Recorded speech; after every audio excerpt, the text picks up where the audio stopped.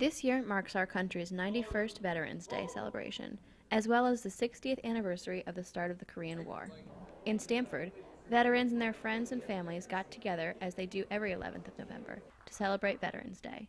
But this year, they came together in the Government Center to honor the veterans of the Korean War. The mayor opened by stressing the idea that our freedom isn't free, and that we are on our way to a new respect for that idea. This year, I think, is a new beginning. I think if you attended the Veterans Parade this past Sunday, you would have seen 40 units, different units, marching proudly down Summer Street to one of the largest crowds that I've ever seen, as enthusiastic as they can be, to be part of the tribute, to be part of the salute to our veterans. Mayor Pavia's brother, Tony Pavia, emceed the event. He introduced officers from each branch of the service, from the Marines to the Coast Guard, who spoke about what war and military service meant to them. This year's celebration was organized by Dodie Green, the widow of a Korean War veteran. I was uh, proudly married to a Korean War veteran for 53 years and two months.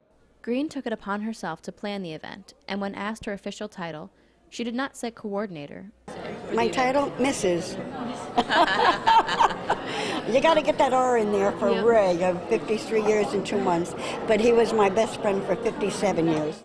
And Mrs. Green says that organizing the event wasn't difficult at all, what with her knowledge of veterans affairs and Korean culture. The easiest thing I've ever done. I've been to Korea. Uh, Koreans are my friends, Mr. Yoon, Mrs. Yoon. The ceremony ended with a special presentation of an American flag by Mrs. Green to Mayor Pavia, a flag that flew over the nation's capital. And these will be displayed with pride in my office, Dodie. Thank you.